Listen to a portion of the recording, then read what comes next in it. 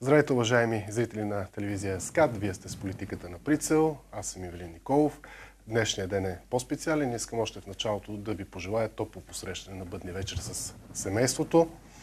Тъй като днешното издание е по-специално, аз съм поканил специални хора, които се занимават с българския дух, с българщината и с политика, защото все пак предаването е политиката на прицел. При мен са Цвета Кирилова, журналист, и Георги Тотанов, геополитически анализатор.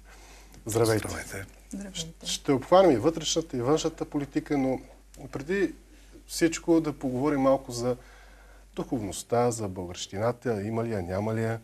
Аз напоследък не съм много оптимист по темата. Някак си виждам повече разделение, отколкото обединение. А, може пък да ме опровергаете. Вие развивате дейност и с азбукари. Да. През политическия дискурс ли да погледнем нещата или през духовния и така чисто през човешкия? Останали, останаха ли българи или общо взето сме ползватели на социални мрежи, на по-екстремни социални мрежи, ако видите какво е в ТикТок, ще ви стане лошо. Че българщината все още е жива, може да бъде доказано чрез една от нашите последни инициативи. Тази година Сдружение Азбукари навърши 10 години. Една пробългарска гражданска организация, която работи с дейност в обществена полза. За 10 години постигнахме изключително много, но това, което тази година е особеното, е, че град Хасково ни покани да отпразнуваме нашия юбилей, като те организираха всичко. А, имахме възможността да наблюдаваме 400 души, сред които много деца, които направиха една превъзходна пробългарска програма, изцяло с народни танци, хора и български песни. Напълниха зала Дружба в Хасково, за да покажа, че този град все още е бастион на българщината и ще продължи да бъде такъв. И че благотворителността, а, макар и по коледа, продължава да съществува чрез отворените сърца на българите. И това, че всъщност нашата организация беше подкрепена от всички тези хора с една пълна зала, над хиляда души и толкова много деца и семейства, за да ни подкрепят, за да ни стимулират, да ни насърчат да продължим напред, защото наистина в тези тежки економически времена, макар че нашата организация се слави и нека не е самохвално като една от, би казала, най-дейните български организации, работещи отново, подчертавам, в обществена полза, но в тежките економически времена нашето оцеляване наистина беше много сложно – но държавата абсолютно не хае, не подкрепя, не подпомага, освен ако ние не се потрудим да работим по проекти, които реално да оплътняват нашите цели с мисъл. Така че аз искрено много благодаря на град Хасково, че се отзоваха, че ни помогнаха, че успяхме да реализираме всичко това, защото в днешно време да бъде призната дейността на една гражданска организация с толкова мащабно мероприятие, това показва едно много силно духовно израстване на обществото в този град. Защото тук, ако нашата роля е през тези 10 години ние да даваме, ние да подкрепяме, ние да насърчаваме младите, защото работим основно за децата и развиваме изключително социални, образователни, културни, спортни и така нататък инициативи. Над 300 до сега. То сега връзката беше обратна от тях към нас. И ние за първи път усетихме реална подкрепа на гражданското общество. И, и наистина за първи път. Защото ние до сега сме били даващата страна. Да, получавали сме индивидуални физически помощи от лица, които се явяват дарители на нашата организация. Но такова мащабно събитие, което да разтърси залата, тези всички деца, които дадаха всичко от себе си, ръководителите на ансамблите, аз даже, ако ми позволите, много бих искала набързо да прочета кои са те, защото не мога да запомня всички имена наведнъж, но благодаря лично на Ана Димитрова от ансамбъл Хасково, на Златка Тимонова от ансамбъл Златна Тракия, на Галина Штерева от ансамбъл Южняче, на Васко Димов от ансамбъл Южняци, на Иван Иванов от Воденица, на Мария Малчанова от Славяни, на Мишо Кадият Кадиев от Фартуните на Мишо, на Иван Катопузова от Зора Зорничка, на Надежда Димитрова от Веселие и на Галина Штерева от Любители на фолклор. Всички тези танцори и техните формации показаха, че наистина Хасково а, съхранява българщината, българския национален дух, традиции, обичай и дава увереност, че България е жива, но сякаш ние живеем в две различни Българии. Затова аз попитах дали да минем през политическия или през Не, аз първо ще сваля дали е видял дискурс. същото и господин Тотанов, защото ето той е живял пък дълги години във Франция. Не върви ли по-скоро към по-глобален свят, ляво-либерален, където местната, местните култури, ценности, традиции просто нямат място. Ще И не сме ли се ние така доста впуснали в тази линия да извън традиции Винаги съм, винаги съм анализирал а, нещата, айде да кажем така, а, извисявайки се и от високо. А, за да отговоря на вашия въпрос, вижте, нека разгледаме какво е днешния свят. В днешния свят има 194 признати държави. Ако разгледаме всяка една държава като субект, това са 194 души, които живеят на една обща територия. Това е планетата Земя. Това е тъй наречената световна общност. Нека разгледаме България като субект. Но преди това, вижте, в този глобален свят имаме а, субекти, които са близки, имат роднински връзки. Някои са братски. Имаме и субекти, които са мутри. Имаме и престъпници между тези субекти. Погледнете България в момента. Нека да- разгледаме. Къде сме? Ние сме част от тази общност. Но Ама ако раз... кои сме? Насилниците, мутрите, жертвите? Ние днес сме а, част от една а, европейска общност, която е изградена от 49 души. И а, искам да ви кажа, че а, в тези субекти има и много стари субекти. Има и по-млади субекти. България е с призната история на 1300 години. Това е това, което е признато. Да не слизаме към предтракийската цивилизация, това, което сме дали на гърците и така нататък, което е официално признатото за началото на европейската цивилизация. Какво се случва в България в момента? В момента разбиват държава на 1300 години. Една от Повече, както сбелязах. да, признатата история, тази, която всички сме съгласни. 1300 годишна държава, една от най-старите държави в света и една от най-старите в Европа. Ние сме бабата, ако мога така да кажа, или дядото баба България, нали, все пак ще използвам женски род.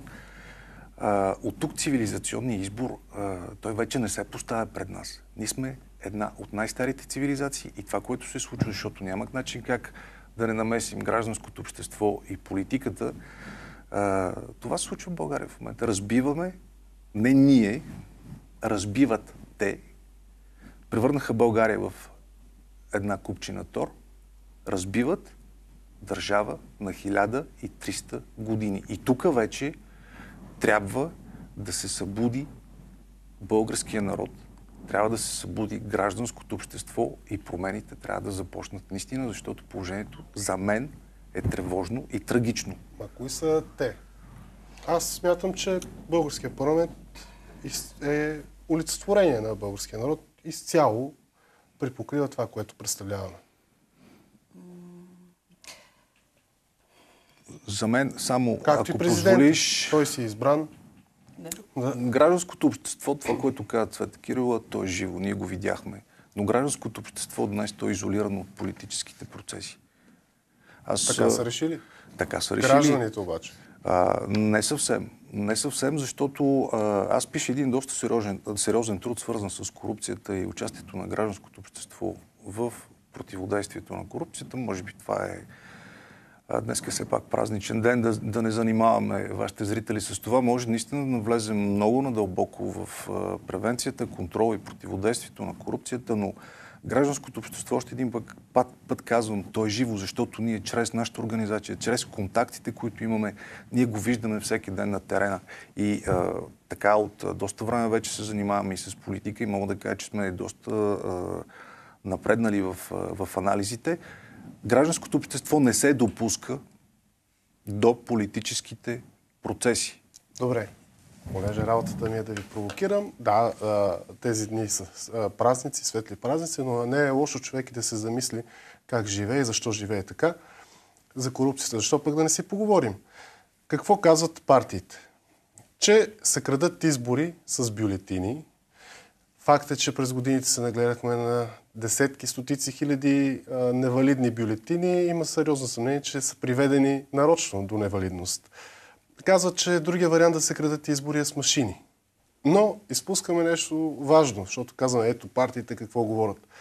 За да се случат тези измами, най-малкото с бюлетините, там участват десетки хиляди българи от различни партии, различни движения и си затварят очите.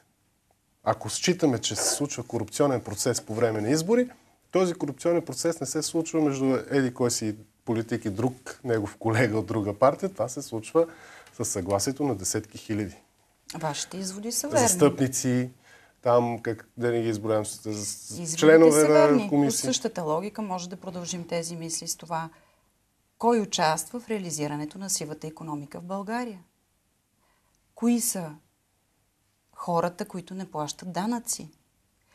Кои са хората, които или фирми, които избягват определени закони, облагания и така нататък? Да? Кои са хората, които се стараят да укриват по всякакъв начин нелегални доходи?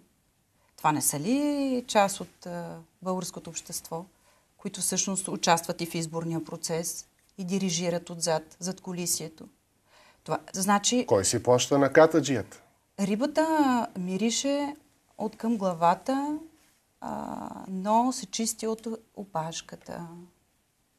Значи, ако ние искаме като общество и както каза Георги, а, да придобием стойност на международната сцена и в системата изобщо на международната сигурност, да изглеждаме сериозно, ние първо трябва да започнем с борбата с корупцията в много дълбок мащаб и с много сериозни безкомпромисни мерки. Защото тук в България се извършват само палиативни, само така маркиращи, замитащи мерки, които реално не довеждат от нищо градивно. И така повече от 30 години. А по отношение на духовността, няма как България да тръгне по духовния си път по естествен начин, след като имахме президент, който тръгна на война със собственото си общество, чрез юмрук и нарече нам немалка част от това общество мутри. Когато този човек раздели обществото като с един голям водевил и сложи една голяма пропаст между една част на гласуващите и другата част на гласуващите, много трудно тези две страни, връждуващи, този двубой да бъде по някакъв начин балансиран и събран в едно цяло отново, освен ако на сцената не се появи духовна личност или личности, група от личности, които да предприемат такъв тип действия, които на базата на много висок морал, духовност и идеали, пак подчертавам, идеали, да могат да изведат нашата обречена, потънала в скърби буквално и в тотална психологическа несъстоятелност и обърканост държава в някакъв нормален порядък и ред. Точно така. И аз бих добавил, понеже имам наблюдение, казахме, че съм живял дълги години във Франция. Да, наблюдавал съм една стара демокрация. Наблюдавал съм и процеси в Африка, защото съм пътувал много в Африка, Черна Африка, държави от третия свят, където корупцията наистина е на дневен ред. Но мога да ви кажа как една, примерно, стара демокрация ще се бори с сивия сектор. Тя преговаря с сивия сектор. Бялото преговаря с сивото, за да може да се изкара от сивото максимално и то да мине в бялото. Държавата България днес се управлява от сивото, която взима от бялото и налива в черното. Разбирате ли каква е разликата между старите демокрации и това, което се случва тук в България? Това, което казваш ти, ако още един път се върнем като на държавата субект, тя, държавата, България, като един субект, а, защо, а, защо тя е болна? Нека да си представим. Имаме главата, ръцете, тялото, краката, имаме духа на тази държава. Но днес Виждате, всичките тези органи, които има държавата като субект, това са по дефиниция, това са държавните органи. Тези държавни органи, те не работят или а, тялото на субекта е завладяно от метастази, от вируси. Разбирате ли? Корупцията е един от тях. а, едни такива политически, а, хайде да не кажа изцепки, но експерименти на президента, като новите партии, като партии, които чупат държавността. Като... И никой не носи отговорност. И като политик... във Франция, между другото, а, за такава инфлация не си седят в къщи и не си спират радиаторите Естествено. и климатиците, а излизат на площада да протестират. Естествено. Е, това не е ли голяма сериозна разлика? Тук, Тук кой протестира? Тук, и за, срещу, за какво точно тук видяхме протести? когато трябва да се укрепат финансовите потоци и незаконно придобити ресурси на олигархията в България. Да, 2-3 хиляди И те организират своите хора, които са добре организирани, платени, структурирани. Те са като едни ядра, които стоят подготвени. Винаги при надуване на свирката те са на улица улицата. Е, за това говорим, да, това господин е. Тотанов. Кажете ми, ако в французите какво правят, ако ми а, в рамките на всички... седмици пазуруват за три пъти повече пари? Една и съща а, кошница. всички, всички, всички сме виждали и без да определяме дали са ляви, дали са анархисти, хората Има излизат... такива, които не правят, жил... възползват да, се да правят предвид погроми. Но погроми, говорим за гражданското общество гражданското общество, за, за което говорим, а, то е на улицата.